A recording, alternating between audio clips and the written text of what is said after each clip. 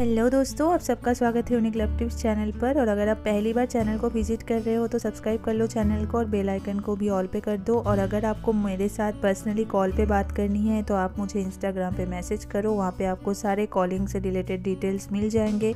और ये एक पेड कॉल होगा और कॉलिंग के चार्जेस भी मैं वहाँ पर बता दूँगी। और इंस्टाग्राम का जो लिंक है, वो मैंने डिस्क्रिप्शन में दे के रखा है। जब हमको ये बात पता होता है कि वो जो इंसान है, जो हमारा पार्टनर है, वो हमसे बात नहीं करना चाहता है या फिर बात नहीं करना चाहती है, लेकिन फिर भी हम खुद को रोक नहीं पाते हैं। फिर भी हम उसको कॉल करते हैं मैसेजेस करते हैं। और इससे क्या होता है ना, वो जो इंसान है, वो और ज़्यादा इरिटेट हो जाता है या फिर इरिटेट हो जाती है।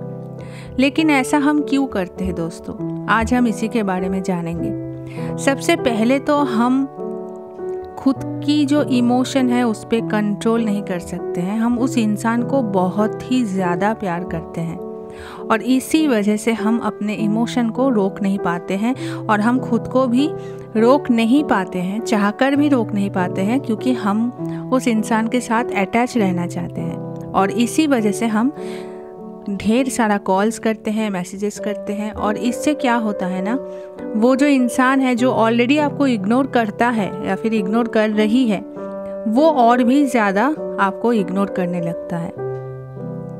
और इस बात से हमको बहुत ही ज़्यादा हर्ट होता है क्योंकि वो जो इंसान है ना, वो हमारी दुनिया है और हम उस इंसान तक पहुँचने के लिए ना, बहुत सारी कोशिशें करते हैं, बहुत ज़्यादा ही एफ़र्ट्स लगाते हैं। और ये जो हमारी सारी कोशिशें हैं, सारे एफ़र्ट्स हैं ना, ये उनके लिए इरिटेशन के कारण बन जाते हैं। तो क्या करें ऐसे सिचुएशन में?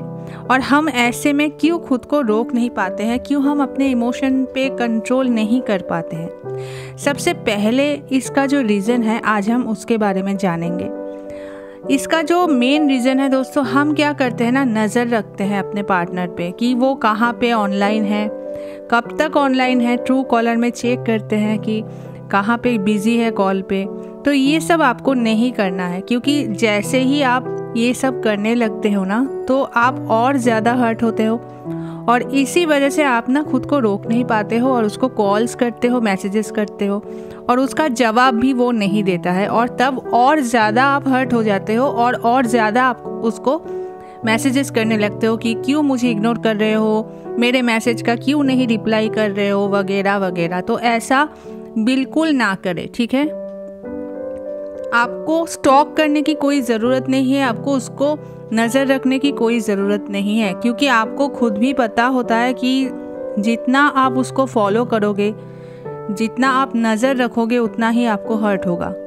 ठीक है तो जिस टाइम पे आप उससे बात करते हो, जिस टाइम पे आप उससे चैट करते हो, उस टाइम को आप किसी और चीज़ों में इन्वॉल्व करो, अपने आप को उस टाइम पे कुछ और करो आप। गेम खेल सकते हो या फिर कुछ और कोर्स आप ज्वाइन कर सकते हो, कुछ ऐसा काम कर सकते हो जिस टाइम पे आप बात करते थे पार्टनर से, जिस टाइम पे आप चैट करते थे, उस टाइम पे आप कुछ और कर सकते हो। ऐसे अपने टाइम को आप डाइवर्ट करो किसी और चीज़ में, ठीक है? क्योंकि जितना आप कोशिश करोगे, जितना आप ये ट्राई करोगे ना, कि आप उससे बात करो आप उसके साथ जुड़े रहो, उतना ही आपको हर्ट होगा, उतना ही वो इंसान आपको नापसंद करने लगेगा कि इसका अच्छा किया मैंने इसको इग्नोर करके अच्छा किया मैंने इससे बात ना करके, क्योंकि इसको और कोई काम नहीं है। इसको सिर्फ़ एक ही काम है, वो है मुझे फॉलो करना, मुझे कॉल करना और मुझे मैसेजेस करना। तो ऐसा मत करो, खुद के ऊपर काम करो, खुद को बेहतर बनाओ।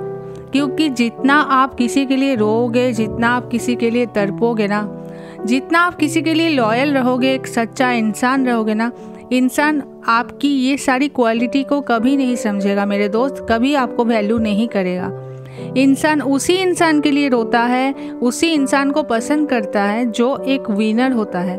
तो हमेशा ये बात याद रखना कि वफा दिखा के या फिर प्यार मोहब्बत से या फिर लॉयल होके आप किसी का दिल नहीं जीत सकते। आप तब किसी का दिल जीत सकते हो जब आप खुद एक विनर बनोगे। तो ये बात हमेशा याद रखना और अपने ऊपर काम करना, अपने आप को बेहतर ज़रूर बनाते रहना। ठीक है?